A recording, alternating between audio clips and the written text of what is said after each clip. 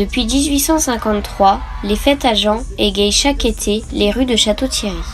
Dédiées aux plus célèbres fabulistes de France, les fêtes Jean de La Fontaine accueillent cette année plus de 500 paradiers et des milliers de spectateurs. Mais une telle organisation demande des mois de préparation en amont. Nous avons suivi en exclusivité le déroulement des préparations de cette fête, de la construction des chars au défilé le jour J, en passant par la mise en place de la sécurité ou du feu d'artifice, nous allons voir comment bénévoles, associations, entreprises, forains et municipalités mettent tout en œuvre pour obtenir une fête digne de ce nom. Les fêtes Jean de La Fontaine, entrer dans les coulisses de la fête dédiée aux plus célèbres des fabulistes. Chaque année, des dizaines de milliers de spectateurs se réunissent pour les fêtes Jean de La Fontaine, plus communément appelées fêtes à Jean. Ces fêtes, datant de plus de 150 ans, n'ont été annulées que de très rares fois depuis leur création. En effet, elles furent annulées durant les guerres, une fois en 1998, par peur de ne voir personne avec la Coupe du monde de football, et plus récemment en 2020, pour cause de pandémie mondiale. Au début de son histoire, L'entrée de cette fête était payante pour les habitants extérieurs de Château-Thierry, au prix de 25 francs par personne. Aujourd'hui, elles sont totalement gratuites, pour le plaisir des petits et des grands. Mais comment ces festivités ont-elles vu le jour? Les fêtes Jean de la Fontaine sont une grande tradition à Château-Thierry et en fait on a un devoir de les réussir. Euh, pendant, pendant plus de 60 ans, c'était une association, c'était des associations qui, avaient les, fêtes en main. Euh, au tout début, en 1853, c'est la municipalité qui a commencé à faire les fêtes. En 1960, ça a été mis aux mains d'associations qui ont fait de très très très belles fêtes.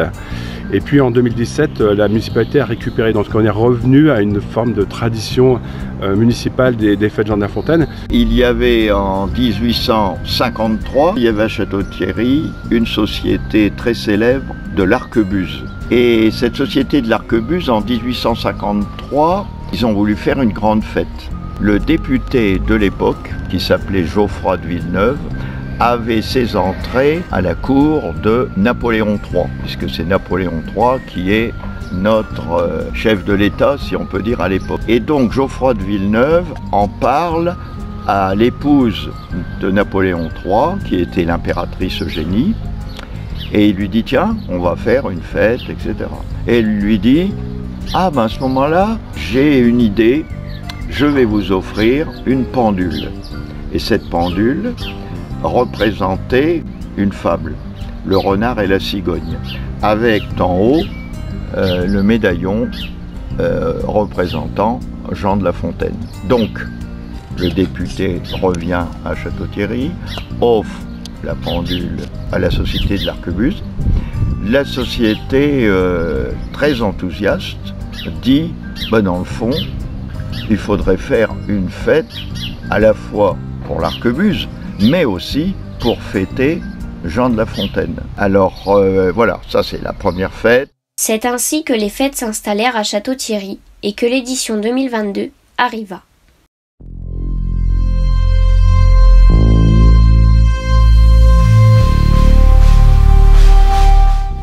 Deux mois avant le défilé, les petites mains s'activent. Ici, dans les locaux prêtés par la mairie, Laurent Potier est venu de la Sarthe pour la construction du char. Pendant deux semaines, avec quelques bénévoles, il a fabriqué son œuvre en carton, papier, tuyaux de chantier, polystyrène. C'est avec une vingtaine de bénévoles, des plus jeunes aux plus âgés, qu'il a partagé sa passion et son métier. Fondateur de la compagnie Youpla Boom, Laurent défile dans les plus grands carnavals de France et dans le monde entier avec des marionnettes géantes qu'il a lui-même réalisées. À quelques pas d'ici, à la mairie de Château-Thierry, les réunions s'enchaînent, tantôt avec les groupes défilants, tantôt avec les bénévoles, tantôt avec les agents techniques. L'idée en fait c'est de pouvoir euh, euh, aider sur les fêtes euh, Jean de la Fontaine. Alors je dis nous aider, c'est aider l'organisation, quand je dis nous c'est l'organisation. Je suis venu pour changer changer d'air avec, enfin avec mon travail et tout, au moins ça me permet de détendre un peu l'atmosphère, me reposer un peu et sociabiliser avec beaucoup plus de personnes de château, alors qu'en plus Château-Thierry, je ne suis pas du tout du coin. Donc ça permettra de, de sociabiliser avec des autres gens et apprendre à connaître d'autres personnes et puis aider, aider la, mairie. Les fêtes, c'est vraiment toute la ville. Toute la ville, les services, tous les services participent aux fêtes. Vraiment sans exception. Faut que la ville soit belle, il faut que la ville soit propre, euh, il faut l'équiper, il faut installer, il faut euh, des mesures de sécurité, euh, il faut tous les services culturels sont absolument impliqués dans les fêtes. Donc en fait tous les services de la ville sont impliqués. Donc oui effectivement moi je, félicite l'ensemble des employés et des services de, de, la ville pour leur implication, pour la qualité du travail. en quelques minutes, en quelques heures, la place euh, le dimanche soir est complètement nettoyée, vidée. Ils ont installé la scène sous la pluie, ils ont réparé ce qui ne fonctionnait pas. Les services espaces verts ont, fait une ville absolument magnifique euh, pour accueillir des, dizaines de milliers de personnes sur ces fêtes. Donc oui, vraiment, je suis très très fier et vraiment, je, je tire mon chapeau à, tout ce service. Et bien sûr, les bénévoles. les bénévoles ont un rôle essentiel. Donc j'espère que l'année prochaine on aura encore plus avec ce succès et, je, les remercie parce que sans eux c'est pareil, ça, serait, ça, aurait été, difficile donc euh, vraiment je les remercie du fond du cœur. Qui dit fête dit fagnon. Ces guirlandes qui étaient au départ réalisées avec des bouts de tissu sont maintenant indispensables lors des fêtes foraines. Les équipes techniques mettent une semaine à installer en travaillant tôt le matin pour ne pas entraver la circulation pose 4 km de guirlande.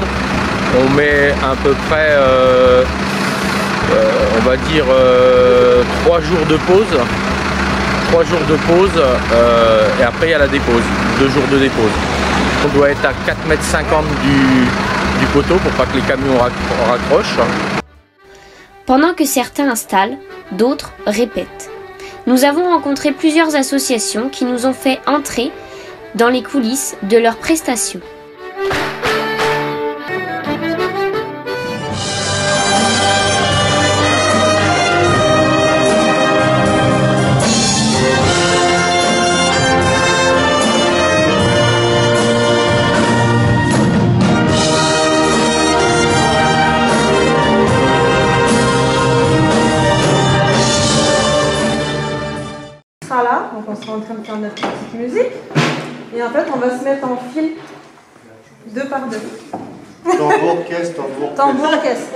Donc, on va. Vas-y bien. Donc, on, nous, on va commencer, on fera avant les premiers. Les deuxièmes suivent. Je me mets derrière toi voilà. est-ce qu'on fait, fait, un décalage tu avec. Euh... Alors, attends, parce que là.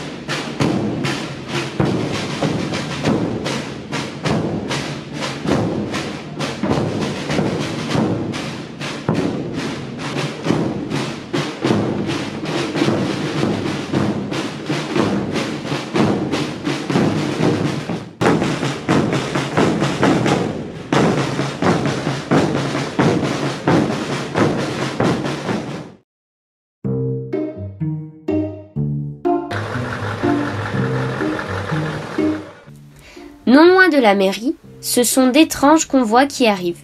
Qui dit fête à Jean, dit manège.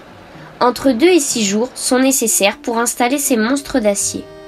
Venus en semi-remorque de toute la France, certains prennent cinq, voire six fois leur taille une fois dépliés. Placés sur la place des États-Unis, la place Jean Moulin et l'avenue Jules Lefebvre, leur placement est un vrai casse-tête, réalisé par la police municipale.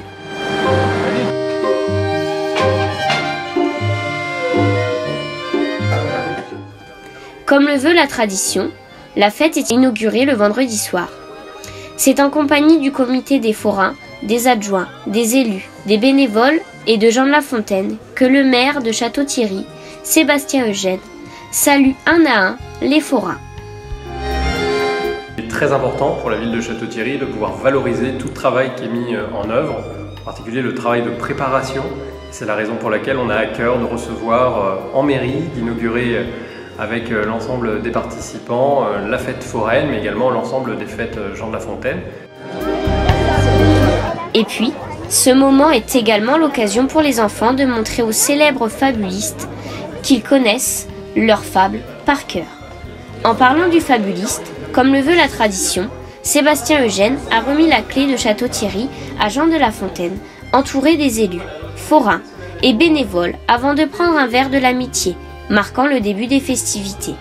C'est également euh, l'occasion de remettre les clés de la ville à Jean de La Fontaine. C'est une tradition qui s'était un petit peu perdue dans le temps et qu'on a souhaité remettre euh, en place. Et c'est également un moment euh, chaleureux pour remercier à la fois les bénévoles, mais également les services techniques, les forains, les forces de l'ordre, les pompiers, pour tout le travail qui est réalisé à la fois avant et pendant ces fêtes Jean de La Fontaine.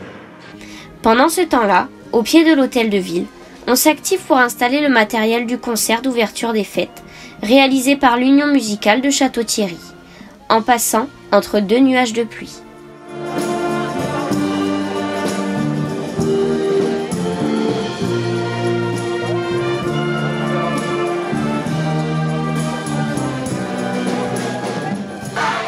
C'est ainsi que les festivités sont officiellement lancées et que les milliers de personnes vont pouvoir profiter de ces manèges tout le week-end. Sensation forte, tir à la carabine, casino, il y en a pour tous les goûts et pour tous les âges.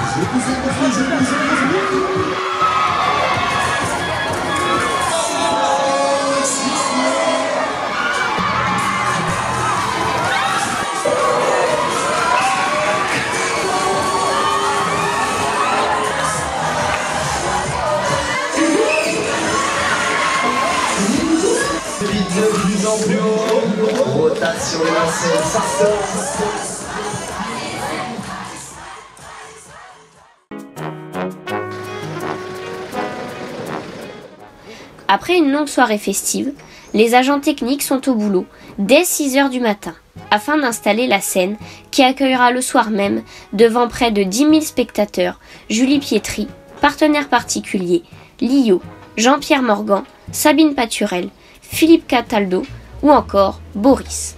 Le calage de la scène est une des étapes la plus importante et la plus longue.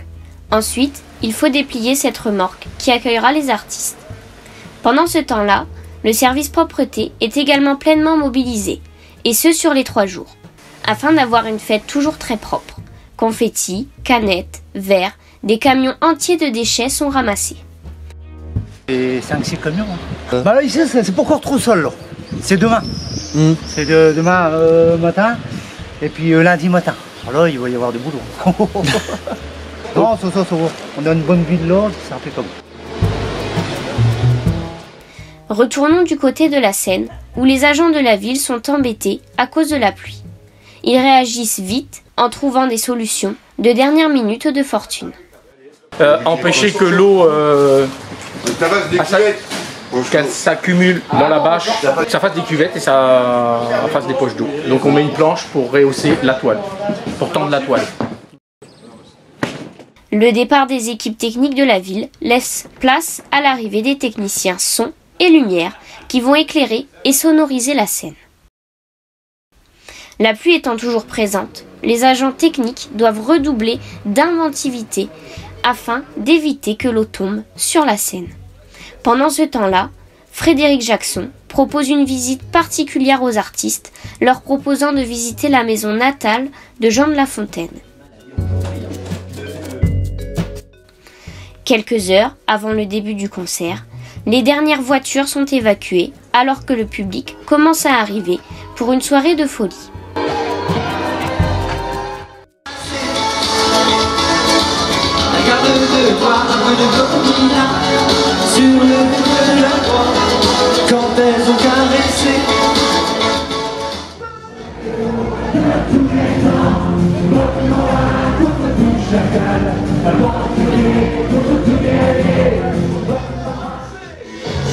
Les chanteurs s'enchaînent, les fans des années 80 sont aux anges devant leurs artistes préférés. Boris, le célèbre interprète de la musique soirée disco, enflamme la place de l'hôtel de ville avec un show digne de ce nom avant de clôturer la soirée avec un DJ sur le thème des années 80 et 90.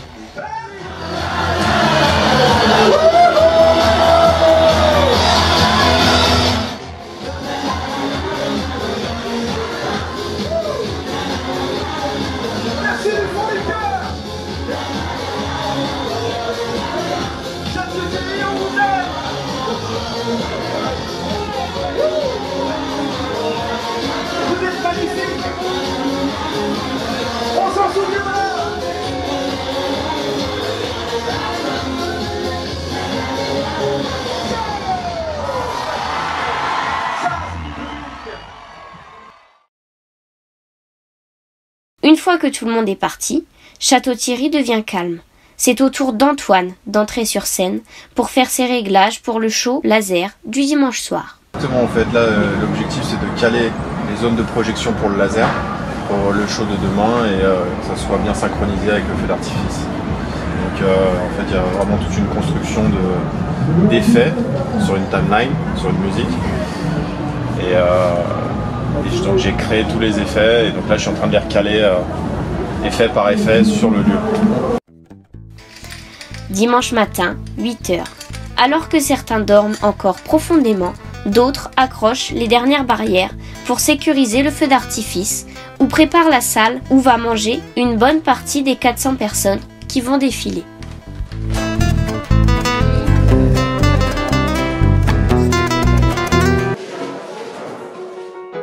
Pendant ce temps-là, les 15 artificiers s'activent pour préparer le spectacle. Ouais, on est sur des, un feu d'artifice avec des, ce qu'on appelle des compacts et des bombes. Et là, donc derrière moi, euh, le chantier qui est en train de s'installer, c'est les bombes. Donc c'est à peu près des bombes qui vont à peu près avoir une apogée. Une apogée, c'est la hauteur de maximum qui va être à peu près de 90-100 mètres à peu près en, termes de hauteur. Il y a toutes les dispositions par rapport à travailler, on va dire, avec les, mains devant. Euh, et éviter de, bien sûr, tout ce qui est flamme, hein, bien sûr, tout ce qui est agrafeuse, tout ce qui est euh, outils ou outils euh, électriques. On n'utilise pas ça du tout pour, euh, préparer un feu d'artifice. Là, on est sur plus de 20, plus de 20 minutes de spectacle, avec toute une chorégraphie, avec une thématique un peu spécifique autour de Harry Potter, avec un laser et une chorégraphie particulière autour de la, magie de la sorcellerie. Les derniers chars sont sortis. Les répétitions de dernière minute se font afin de s'échauffer et lancer en beauté ce défilé.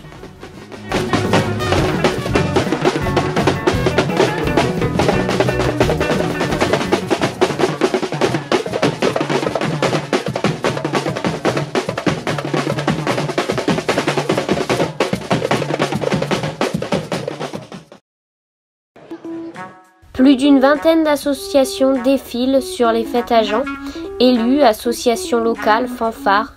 C'est toute une ambiance carnavalesque qui s'installe le temps d'un instant dans les rues de la ville natale de Jean de La Fontaine.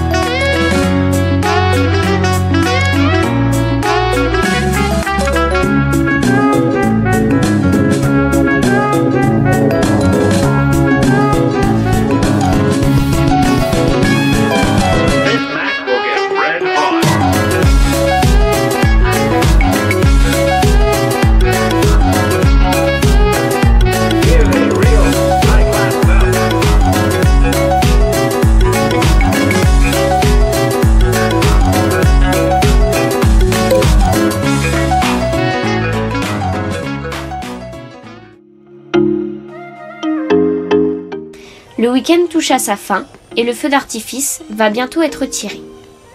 Alors qu'à la mairie, le conseil remercie chaleureusement les bénévoles venus aider pour le week-end, pas très loin d'ici, des hommes et femmes se préparent à partir.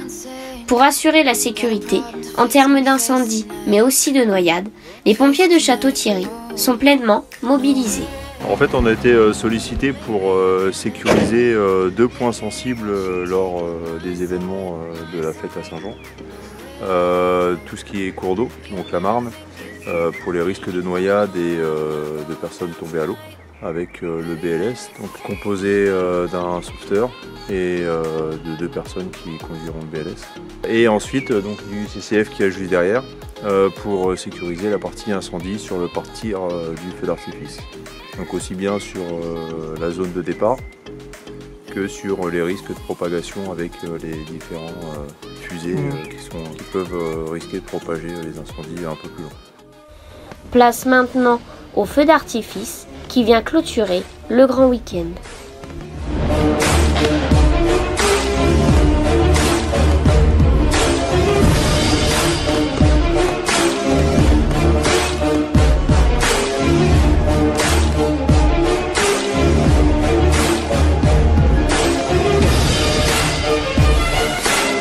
Les, fêtes, c'est une belle réussite.